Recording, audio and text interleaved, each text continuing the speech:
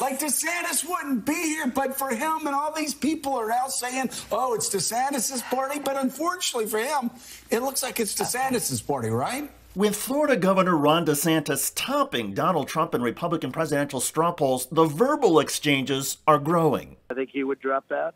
And if I faced him, I'd beat him like I would beat everyone else, frankly. Trump henchman Roger Stone is adding this. The Trump revolution has just begun.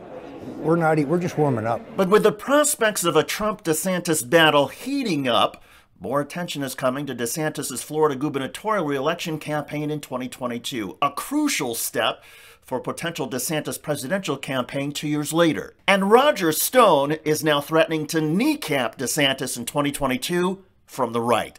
Quote, if Florida Governor Ron DeSantis does not order an audit of the 2020 election to expose the fact there are over 1 million phantom voters in the Florida voter rolls in the Sunshine State, I may be forced to seek the Libertarian Party nomination for governor of Florida in 2022. Trump won Florida by a wide margin, and DeSantis himself has noted there was an automatic audit in the state in 2020 that found the Florida vote was accurate. Quote, it passed with flying colors.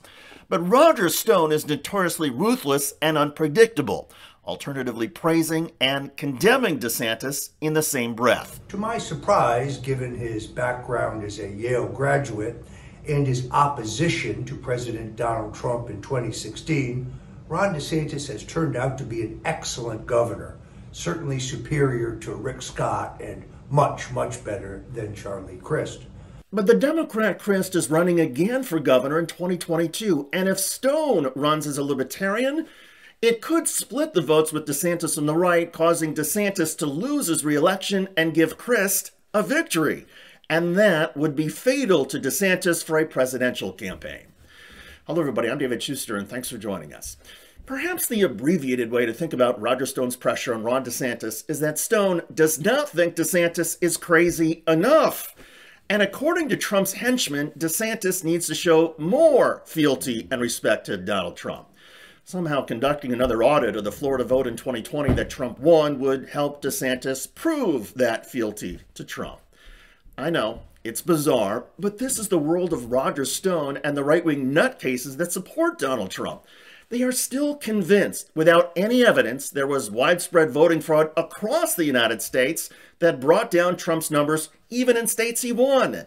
And promoting that the election was fraudulent everywhere, the big lie, that is what the Trumpsters are demanding. If you're a governor wants to maintain your current standing among Republicans, never mind your political future.